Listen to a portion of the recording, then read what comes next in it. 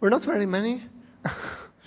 but anyway, I'm here to present Ganeti. It's a product that we developed and we use at Google to do cluster virtualization management on top of Xen or other hypervisors. Uh, how many of you have been at some Ganeti talk before, have used it, know anything about it? One, two, some, a bit. Okay, so I'll try to be fast in the first part and get to something of the internals or other things that are a bit uh, weirder although I don't know how much we'll be able to do today exactly. So first, big news, we have a new logo. We designed it exactly in time. Well, we designed it for Google I.O. last week. We didn't make it to Google I.O. last week, so I'm, I'm presenting it today for the first time worldwide. That's the new Ganeti logo, the, the little thing. It's not too bad. I like it. Um, okay, so let's see what's Ganeti, uh, what are the latest features, what directions we're going towards, uh, how to use it in practice, how we deploy it at Google. Then I also have a whole stack of slides about internals. Last time I gave it, they asked me to, the, the whole audience was shocked and nobody wanted to talk to me for half an hour. Um, so I'm not sure I'll give that part, but we'll see. If, if you want that, there's maybe a recorded version from FOSDEM or you can talk to me. We, we can discuss that as well. So what can Ganeti do? Well, basically, we just manage a cluster of physical machines, and we schedule virtual machines on top of them. Uh, we've been doing this for quite a lot of years, and the idea is that we wanted to do everything that you normally expect from a virtual machine manager, uh, live migration, back. Back? Okay. Live migration, data redundancy over multiple nodes uh, without the need for storage area networks or things like that. So native support for DRBD or other file systems, other distributed block devices. Um, cluster balancing, so easy way to compute what the uh, optimal status of a cluster is and is to repair hardware, so remove nodes from the cluster, repair them, and so on. Um, we want to do this with entry level as low as possible, so just take a bunch of physical machines, deploy Ganeti on them, use them, no need for specialized hardware, specialized uh, external or internal hardware to the node. So just like your old computers, really. That's what they gave us at Google anyway. They had their own old computers. They gave them to us, and we did virtualization of them, right? Um, so we wanted to scale quite a lot, or not to huge amounts. We didn't want to manage like 10,000 of physical machines with it, but we wanted to be able to manage hundreds of machines inside the same cluster. Uh, I believe the latest version is actually more than 200 uh, as we run it in production. And uh, basically we wanted to make it easy for, with for harder features. So you don't need to configure your DRBDs by hand. We'll, we'll do it for you. The other thing we wanted to do is to be good as an open source product. So we do this very differently than many other uh, products made this way by a corporation. Uh, everything is done in public on a mailing list. You can see the design discussions. You can see code reviews of patches floating. And the same happens if you want to develop a patch. You just send it to the same mailing list. We discuss it, then we get to apply it because the, the actual place we commit it is close to Google people. But besides that, it's all in the open. You can read the archives anytime.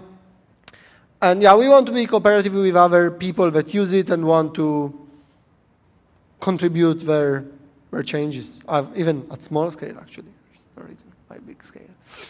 Um, so, just a small terminology. Node is just a physical host. Node group is actually a group of nodes. Instance is a guest, a virtual machine. Cluster is this whole set of nodes eventually divided into node groups. And any Ganeti operation is expressed as a job, uh, except queries that are kind of strange. But they, any operation that changes the cluster is a job. Uh, you can get information from the cluster without a job. So we just use normal technologies, like we tried not to reinvent the wheel as much as we could. So for example, we reinvented the wheel for libvirt, but we started before libvirt existed. But for much other things, we just reused whatever Linux or other open source products gave us. So just Linux, bridge utils, whatever normal utilities, Open vSwitch now, uh, KVM XenLXC as a hypervisor, DRBD, LVM, Sun, so to back your, your files. Now, uh, latest version has RBD support. I don't remember if uh, that's 2.5 or 2.6, but I'll find out later because it's in my slides. Uh, Python and a few modules in Python. Everything is packaged for Debian, so quite easy. Uh, Socat, the nifty tool I was talking about this morning for like exchanging flows from networks to uh, sockets and things like that, from, from network sockets to Unix sockets and more, uh, standard I.O. to network sockets and things like that. And Haskell, it's optional, it's becoming less optional.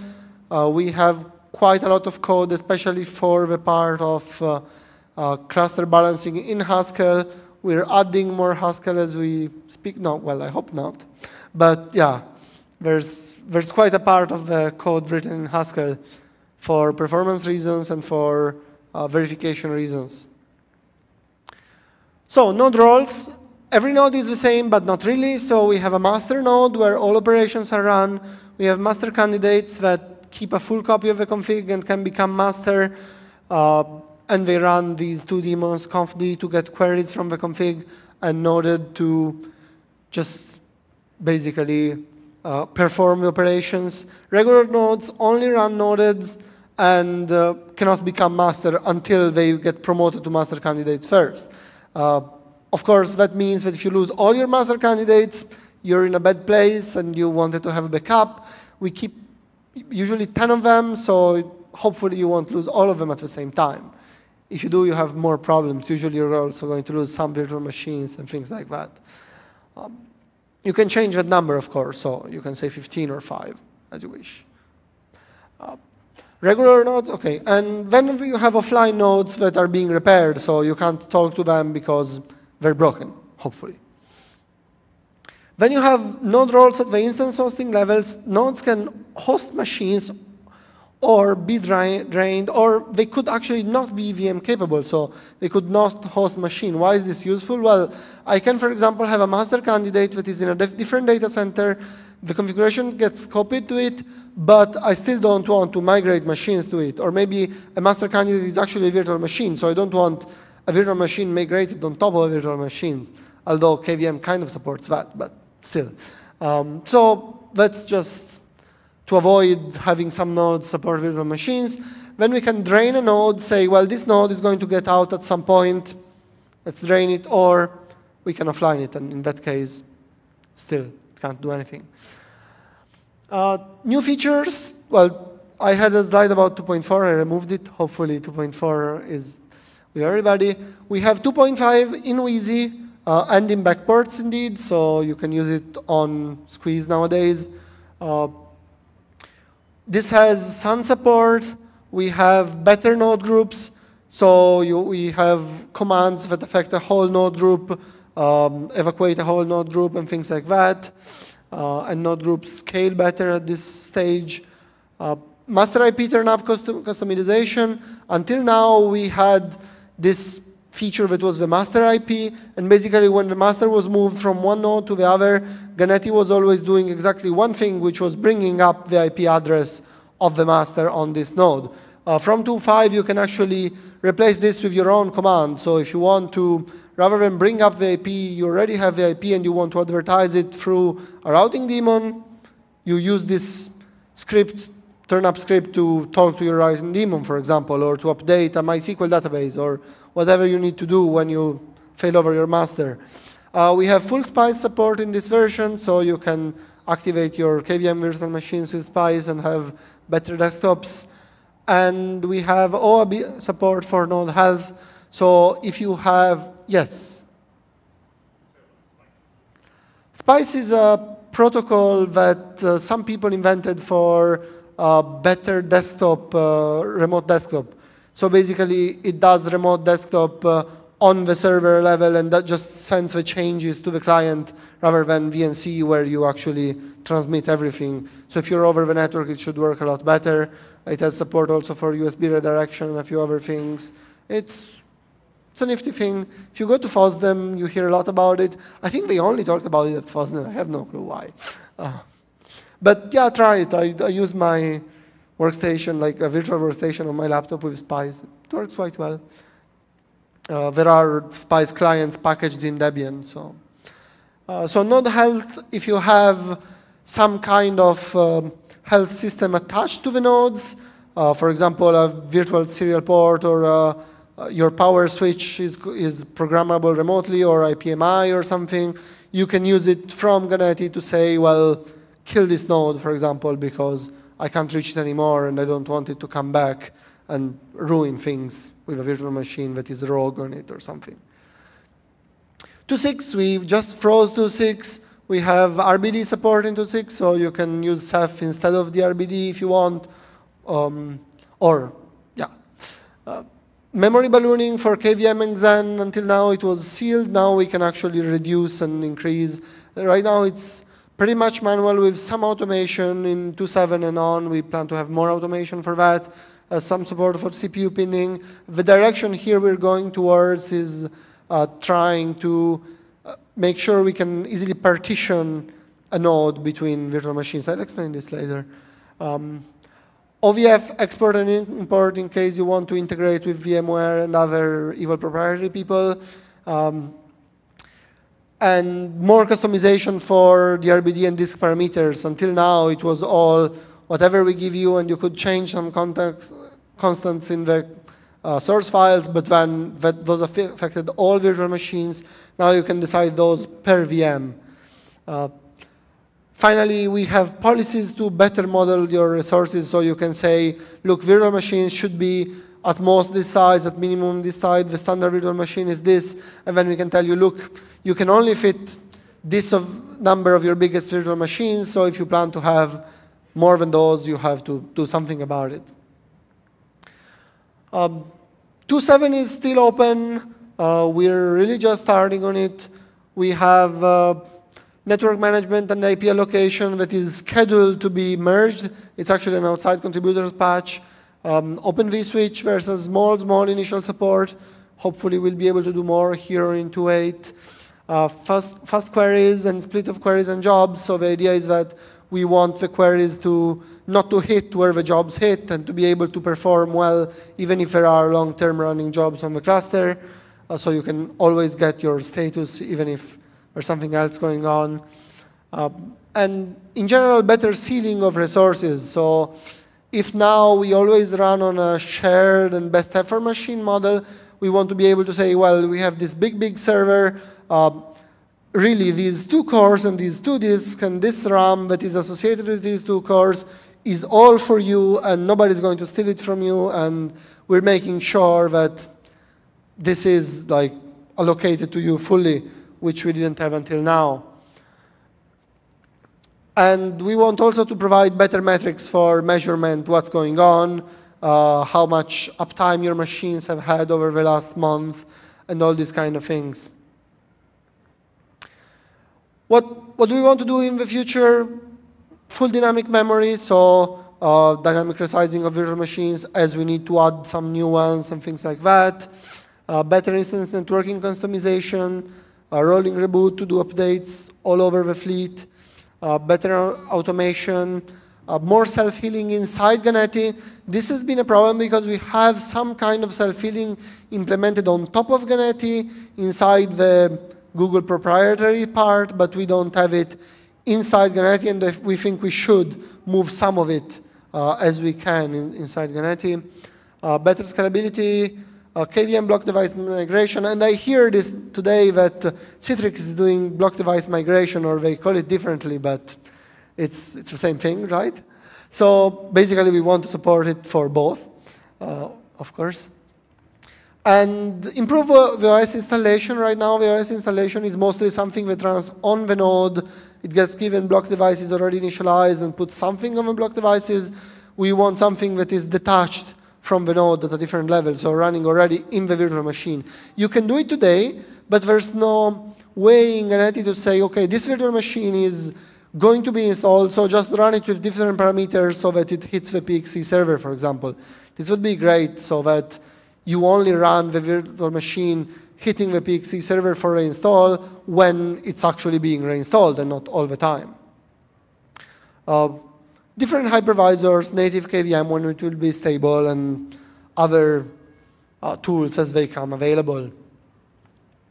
So you can easily like initialize your cluster. You have your Ganeti node, Ganeti master.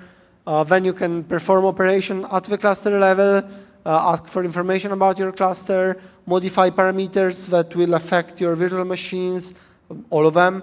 Uh, then you can modify them at the node group level, so just the machines on these nodes behave differently, or indeed at the virtual machine level, so this machine has these special parameters. Uh, verify that your cluster is all healthy, well, not all, but good parts. Um, fail over your master role between nodes, uh, and execute commands or copy files to all nodes. These are just really like small helper tools. They're they're not nothing different than your normal DSH. Adding nodes, well, node adds, you need to have an uh, SSH authentication between nodes and the nodes get added. Uh, we may want to add some situation in which the node gets pre-configured and can be added without SSH authentication, for example, already from the noded if you have cross-noded authentication, but we don't have that yet now. You need to have SSH to add a node. Um, adding instances, just see what instances you have, install some new, add a new instance. When it comes up, you can ping it, you can SSH it, and if you use DRBD, its block devices are replicated on two nodes. Uh, we can have per node operations, so remove nodes, modify nodes with the parameters we were talking about before, um, evacuate, failover, migrate node, or power cycle them with the OOB operations we were mentioning. Instance operation, start and stop, modify, info migrate, access the console either through the Xen console or through uh, KVM, we actually made it easy to access the KVM console, while the KVM people made it harder. Well, tried, but we simplified that layer. Um, indeed, reinstall instances and things like that. All these tools come with uh, full man pages and online help.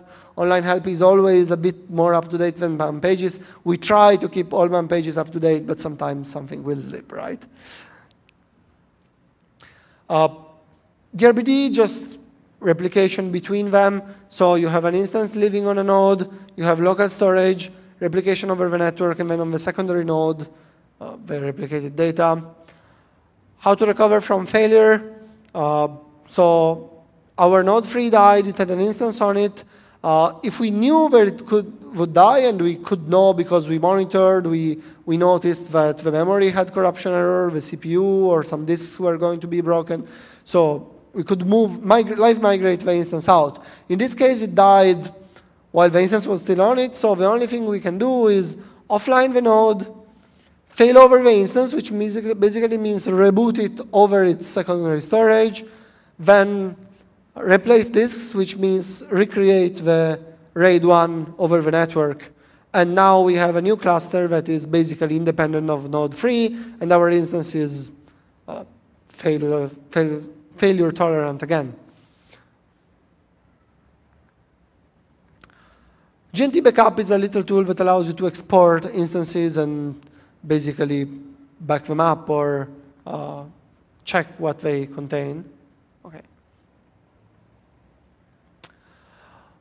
So HTools, this is some tools that we have that allow you to move instances around and balance your cluster.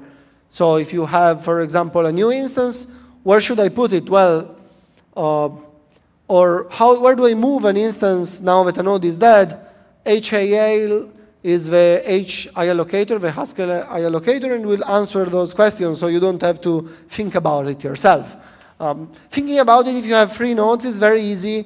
If you have 200, it starts to become a problem. Uh, most of the time you don't care, but sometimes you do care. And when your cluster says, I'm not n plus 1 tolerant, so if this node dies, I don't know where to put this instance, then you don't want to do to take your pen and paper and calculate how to make it n plus 1 tolerant. So HAIL will solve that. Uh, HSpace will tell you how many virtual machines you can fit before you need to buy new hardware or move some into the cloud. Um, N plus 1, uh, HBAL will rebalance it to, to make it more failure tolerant and indeed allow you to fit more virtual machines or things like that. So you can control Ganeti over the command line. These are the examples. You can use a web manager that was developed originally by GRNet and now is maintained by Oregon State Open Source Labs. Uh, the, the, web manager itself talks to Ganeti through a RESTful HTTP interface, which is compatible between versions, and uh, we basically is the programmable way to talk to a Ganeti cluster. Uh, finally, there's on the cluster a LUXI interface. It's just a JSON over Unix socket that both the command line tool and their API daemon or the uh, H tools use to talk to the master. Uh, they're all quite programmable, like the command line, you can write bash scripts over them and things like that. Job queue operations, you can check active jobs, instance reinstalls in progress or evacuations in progress, stop some of them, uh, watch the job, the progress of a job, or see why it failed and things like that. Uh, so for example, you can start an operation, log out of the cluster and then check the result a day later or submit an operation through the web interface or remote API daemon and then check on the cluster what went wrong if something went wrong. Uh, managing node groups, adding, uh, moving nodes between node groups. This allows you basically to divide your cluster into separate groups that are nearer to each other. Ganeti, for example, will never schedule a virtual machine uh, across node groups. It will keep it inside a node group if it has secondary storage. Uh, this helps with things like, well, for example, you have a rack, you have a switch, then you have an uplink out of a switch which is smaller than, uh, or for example, you have one gigabit between the switch and then one gigabit out. So you don't want all your DRBDs to be between this switch and another switch. You want to keep most of them inside the rack.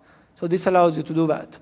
But it can be used in many other ways. For example, if you want to make sure that uh, your primaries and secondaries are not in the same rack, then you can create two node groups that are actually across racks and make sure that this doesn't happen. Or in that case, better modify HAIL to, to enforce some of these policies.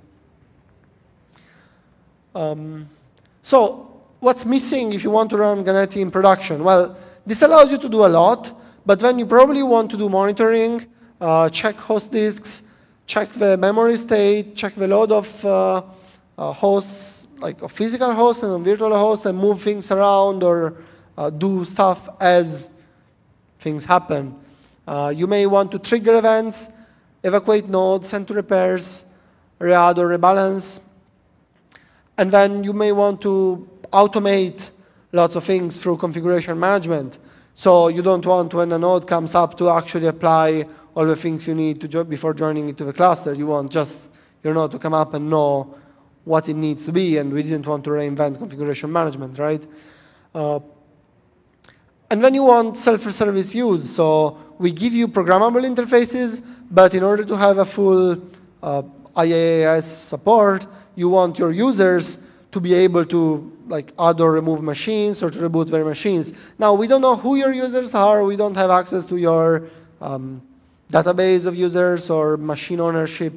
Uh, so, and we didn't want you to, make, to need to use a full stack in which you need to use all our components for everything. So we just decided to keep it simple and allow you to have a component that manages this association outside of Ganeti. So how do we use Ganeti in a data center? Uh, just, what's the time? So that we know. 24, okay.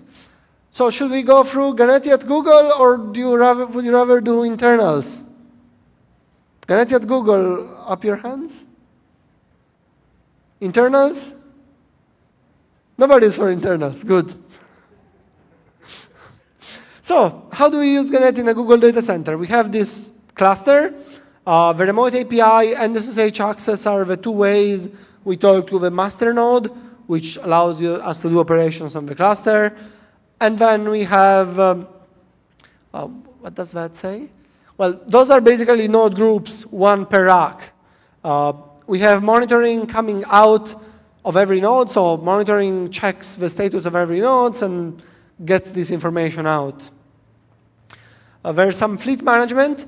So the fleet management tool are fleet-wide. Uh, they run in our closed source Evil production environment, unfortunately. And uh, they talk to all the clusters and make sure that uh, virtual machines run and job, they submit jobs, they talk to the Google user database and the association between Google users and Google virtual machines owners, and they allow users to run operations on virtual machines, what, what I was telling you about before. Uh, they also can move virtual machines from a cluster to another. Ganeti has some features in order to do that, but then you need an orchestrator outside that tells the two clusters to start talking.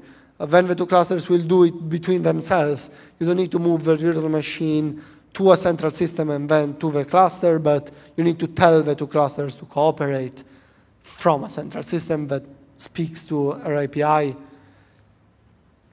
How do we provision instances? Well, an allocation request comes from a user.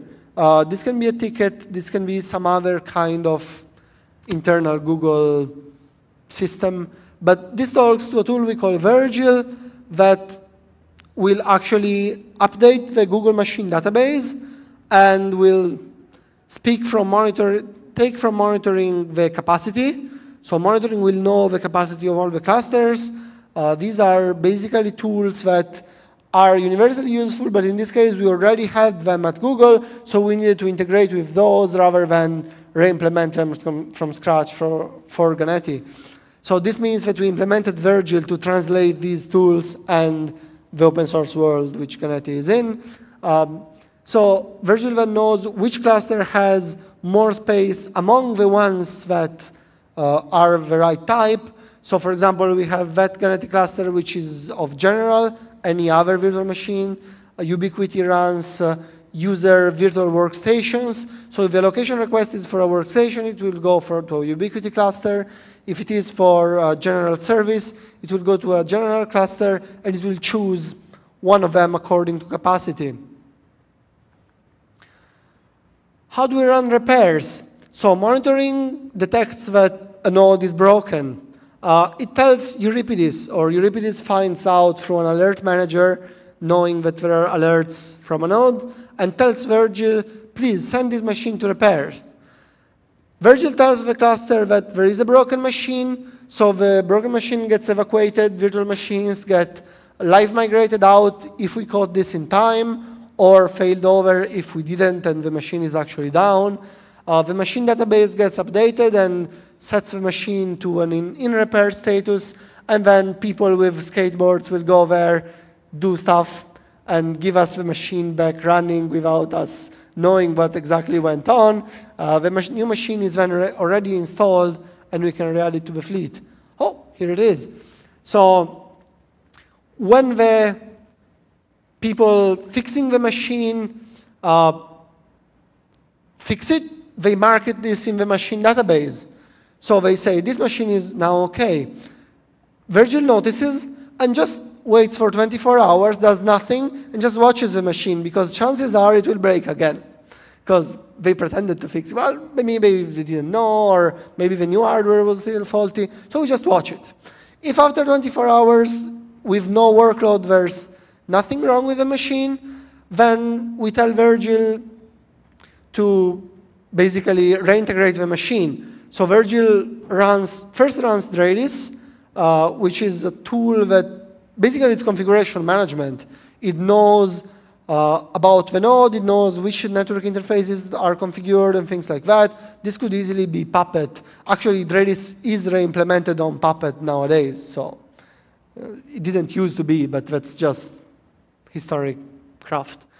And finally, just through our API tells the cluster add again this node, and the cluster readds it, and now we can run a rebalance and schedule virtual machines on top of it. So, who runs Ganeti? Uh, we do, uh, GRNet does, DSA does, you heard about it before, we're experimenting with it to run virtual machines for Debian.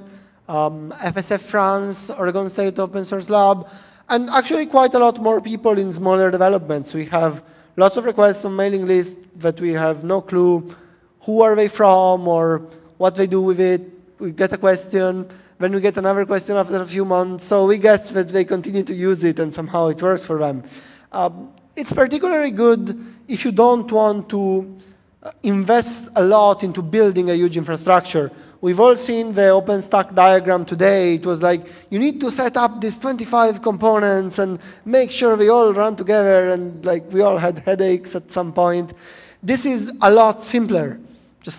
A couple of commands and you're up and running and you can actually use it. You can check this out at code.google.com pganeti. Uh, search for Ganeti on Google, try it, submit patches if you can, uh, talk to us, give us suggestions. Uh, we have some big changes going on. Uh, the, the, development team is going to change office and things like that. So a lot will change, but hopefully a lot will stay the same, as in hopefully we'll keep it open source, keep it good and easy to use, and uh, implement new features that will make it even more useful. Any question, feedback, ideas, flames? Note that if you don't have any, I might move on to the how we did it internals part, so you may want to ask some questions.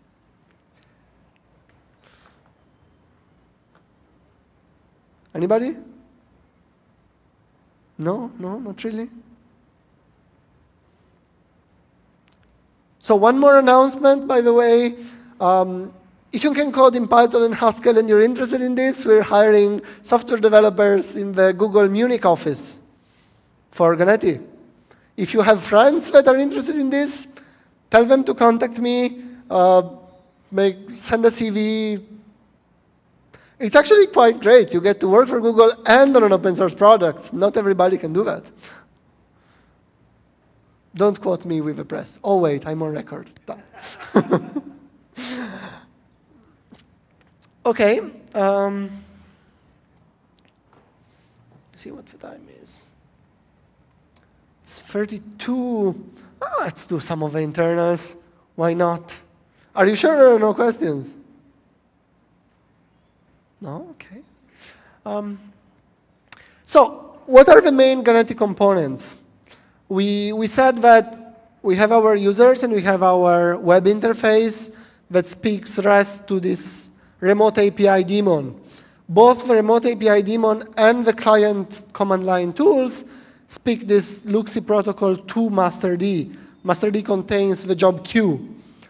Uh, finally, masterd uses an RPC protocol, which is basically a JSON-based RPC, I believe, to, to speak to the nodes.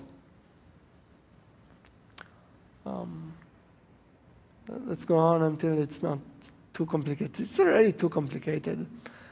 Let's, it's 5 p.m. Let's, let's quit that here if you don't have particular questions.